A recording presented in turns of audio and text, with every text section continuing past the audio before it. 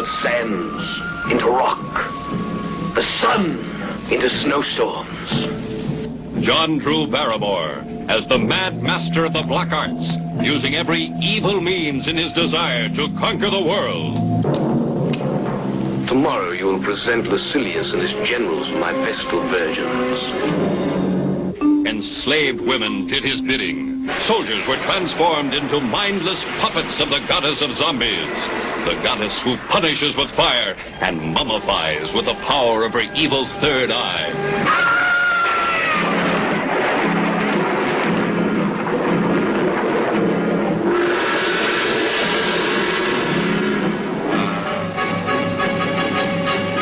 The Zombies.